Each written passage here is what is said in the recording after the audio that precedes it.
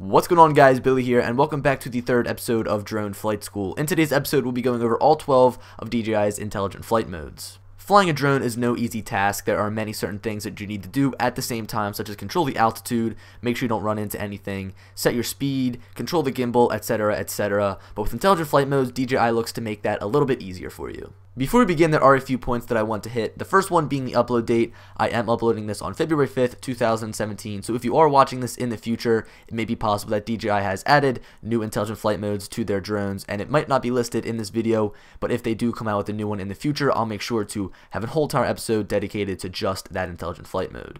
The next thing that I want to mention is that the drone I'm using for this video is the Phantom 4 Pro. The reason I'm saying this is because if you have a drone such as the Phantom 4 or the Phantom 3 series, you might not have all 12 of these intelligent flight modes, but there are a few of these located on your drone.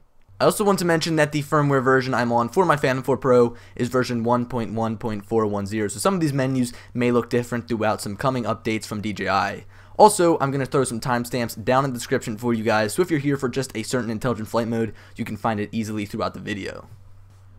Now just to add a little bit of structure to this video, basically I'll go one by one through each of the intelligent flight modes, and then within each intelligent flight mode I'll go through an explanation, a walkthrough, and some sample clips. So without wasting any more time, let's get into the video. First up, we have our normal flight mode, and there's nothing really special about this. This isn't really considered an intelligent flight mode, but I figured I'd throw it on here just because it is part of the list. When you're in normal mode, you're pretty much required to control every aspect of flight. The drone is not going to be flying itself. As I said, this really isn't considered an intelligent flight mode, but because it's on the list, I figured I'd throw it in there. Whenever you're finished flying in your intelligent flight modes, you always want to make sure you flip back into normal mode. Next up, we've got draw, and this allows you to draw a line along the screen that the drone can follow. The first thing we'll notice when we're in this intelligent flight mode is that it actually doesn't work when the camera is looking straight ahead. You're going to want to make sure that it's pointed downwards for it to work properly. Once the camera is pointed appropriately, we can go ahead and draw the path we'd like our drone to fly along. After our line is drawn, we can choose between two different heading modes, forward and free, and we can also choose the speed that we want to fly at. Once we hit go, the drone takes off and goes towards its destination point. Now we choose forward as our heading mode and we'll notice that we actually cannot deviate off of the path even when we look right and left and won't let us go anywhere. Basically it's just going to fly straight to its destination and we're only allowed to look up or down with the camera. If instead we choose free, we're now able to spin the drone around and look wherever we would like. And we can also pitch the gimbal up or down. Now there is one thing that I need to warn you about. When you are in free mode, obstacle avoidance is disabled. So make sure that there's no trees along the path that you're flying along. Once the drone has made it to its destination, it will stop and hover in place and alert us in the top left corner that we have arrived at our destination. Although I'm just messing around in this clip, it is cool how I can spin the drone around and it still stays on the same path that I've drawn.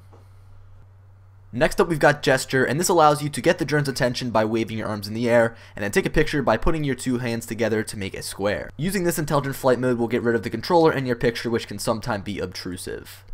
The first thing that we need to do is wave our arms around to get the attention of the drone and let it know that we're the subject that it needs to track. Next, we're going to have to take our arms and put it into the form of a picture or a square. Now, the first time it doesn't end up working for me, but I do try it again, and it ended up working pretty well. After my first failed attempt and then my first good attempt, I tried again and I ended up taking another picture. So it really is hit or miss. You need to make sure that you do this a couple of times just so that you get a good picture. Here is the sample picture that I took using gesture mode. It really doesn't come out any differently than taking a picture with the actual controller. Of course, the Phantom 4 Pro's camera quality is amazing. But again, it'll allow you to take a picture of yourself or of your friends without having the remote in the picture. As you can see, I have it sitting at my feet, so it does look kind of weird. But if you saw this picture and didn't see any remote, people would be wondering how you got the picture. Now, I don't find myself using this feature all that much, but I do think it was implemented for people who are not that serious into flying drones. It really is a good idea, and especially for someone who likes to post pictures on social media, you'll definitely get a lot of likes. The next intelligent flight mode that we have is active track, and this will allow you to select an object or person on the screen and have the drone automatically follow it by itself. This intelligent flight mode is great for someone who wants to film themselves but doesn't have another set of hands, so therefore you can set the controller down and just have the drone follow you all by itself. Our first step is to draw a box over the object that we want to track. In my case, it's just my body. Before we hit go, we have a few certain options that we can choose from. So first of all, we have trace, which will follow behind or in front of the subject. Then we have profile, which will follow alongside, so basically to the side of a subject. And then finally, we have spotlight, which will keep the camera trained on the subject, but will fly pretty much anywhere that it wants to. Once we choose which active track mode we want to use, we'll click go, and from there the drone will start following us. Now as you can see, when we hit trace, we have this slider that goes across the screen. If we slide it towards the left or towards the right, this will choose which way the drone will orbit around us. Although this is a fairly good way to choose which way you want your drone to orbit, I do find it hard to get the exact value that I want. So as you can see, when I'm trying to get it to zero right now, I'm kind of struggling to find that exact spot. With that being said, I do wish that there was an easier way to just choose the select value that I want to use. Now the cool thing about active track mode is that even if I put the controller down, the drone will continue to follow me. This isn't like follow me mode where you have to actually hold the remote in order for the drone to follow your subject. In this trace mode, we're also able to control the drone using the sticks on our RC remote, so we can orbit manually as well as change the altitude of the drone.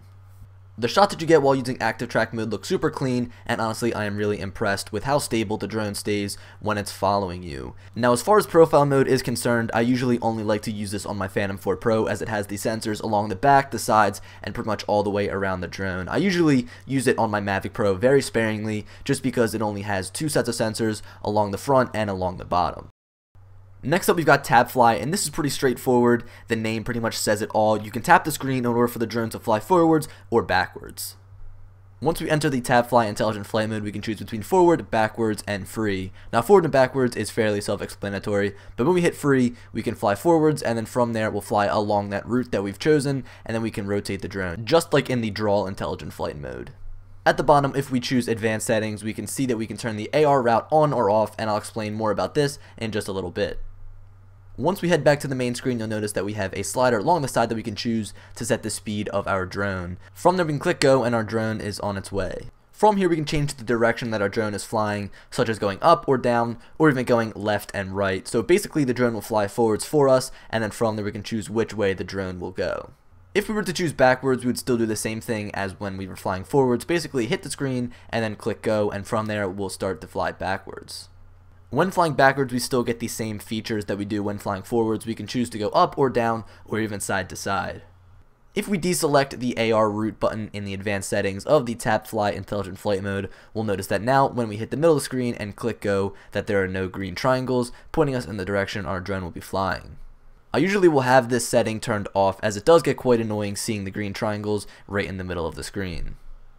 Next up we've got tripod mode and this will allow you to shoot much smoother video, but this comes at the cost of a decrease in speed. Although the speed decrease is pretty drastic, I find myself using it a lot as the drone is much more stable and I can get much smoother shots. Using this intelligent flight mode is pretty straightforward. As you'll notice once we hit tripod mode, there's pretty much no other settings that we can change, it just automatically is enabled.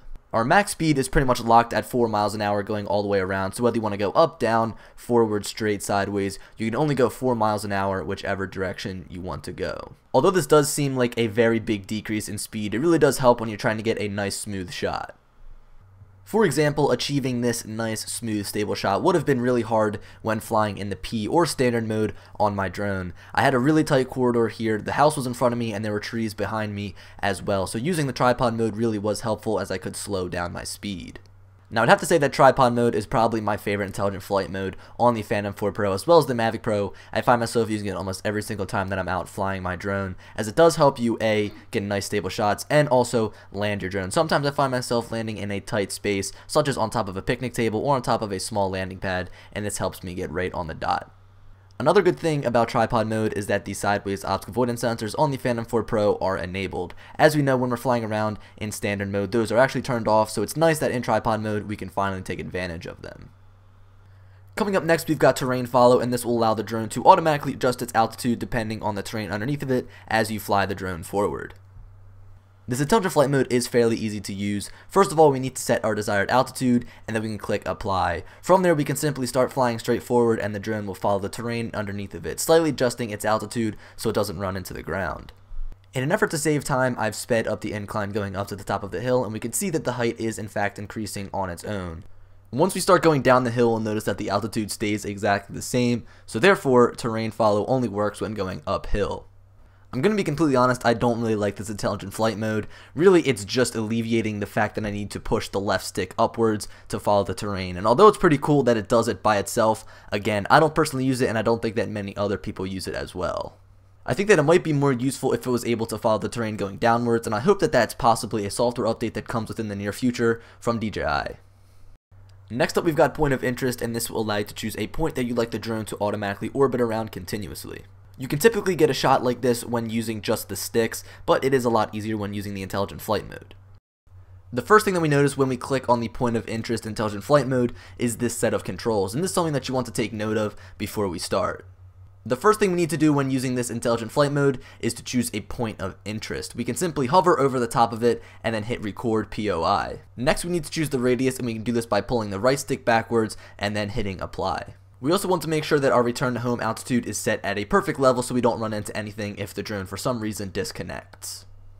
Once we hit apply, we'll notice that the drone starts its orbit around the point of interest. From the screen, we can see the radius and the altitude, and we can also change which direction we want the drone to orbit. From here, with this slider, we can also choose how fast we want the drone to orbit. Underneath of the slider, we can see how long each loop will take. So as we can see, I was going slower, and it says it's going to take around 4 minutes. But now when I speed it up, it's going to only take 30 seconds to do a complete loop. We can also choose to pause the orbit if we so wish to. Finally, at the bottom, we have three more buttons. First of all, we have Reset Heading, which will pretty much reset our point of interest. Next, we have Hide, which will hide this little point of interest tab along the right side. And then finally, we have Exit, which will exit the Intelligent Flight mode altogether. In this example, I'm doing the point of interest, but on a much bigger scale. Pretty much, I'm surveying this whole entire lot that my dad is building houses on.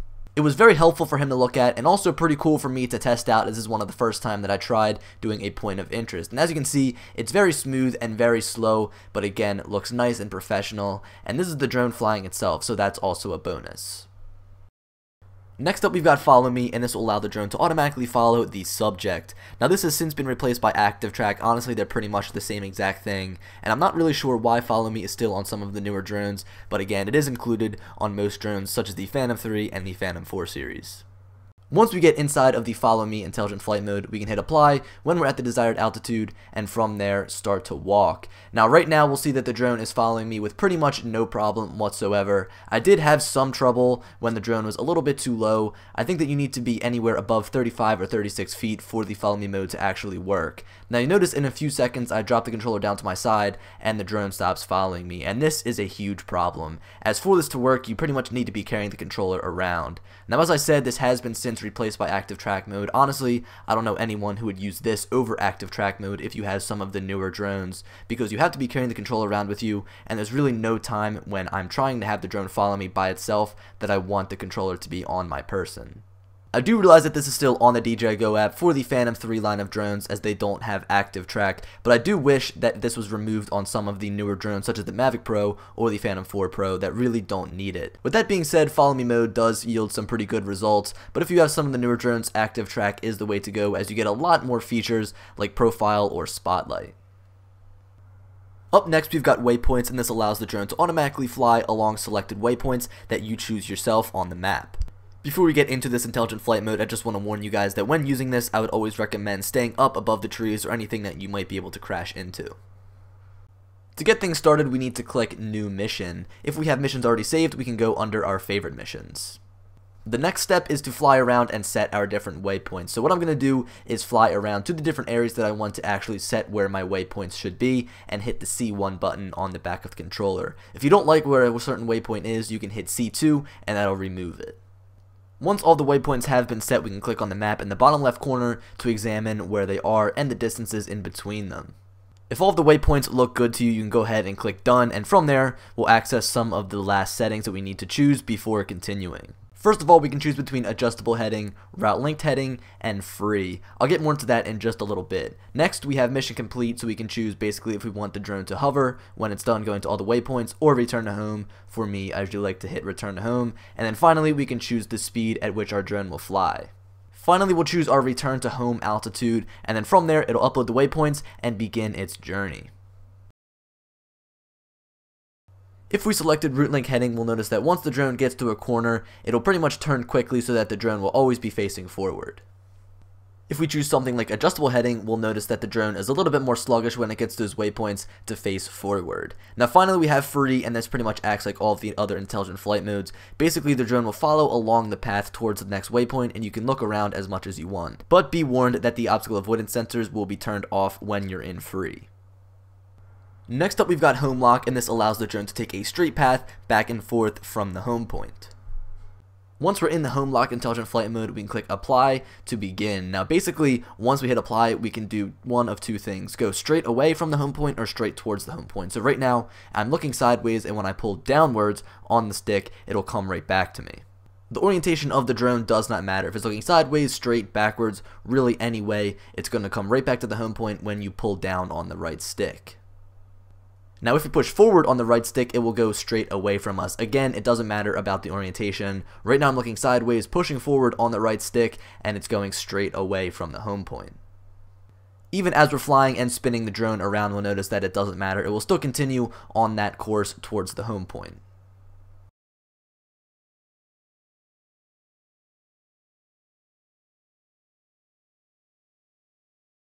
And finally, coming in with our last intelligent flight mode, we have course lock. And this pretty much acts just like home lock, except you can now set the course or the actual line that the drone will fly along. To start things off, we need to choose which way we want our course line to be, point our drone towards that way, and click apply. You'll notice that in the bottom left corner a red line has appeared, and that is the course that we have just set. Now just like home lock, when we push forward on the right stick, the drone will move forward, and then from there we can spin around and it'll stay on the course. This gives you a lot more freedom when shooting, as with the home point, you're kind of limited to wherever your home point actually is, and sometimes that might be not good enough for your shot. To reset the line on the course lock, simply change which direction the drone is facing, and then click reset direction. From there, you'll notice that in the bottom left corner, the red line has changed accordingly.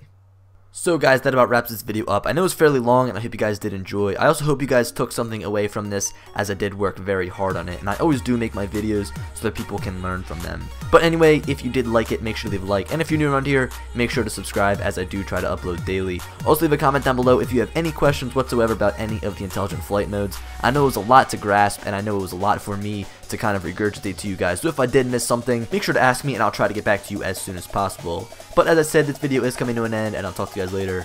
Peace.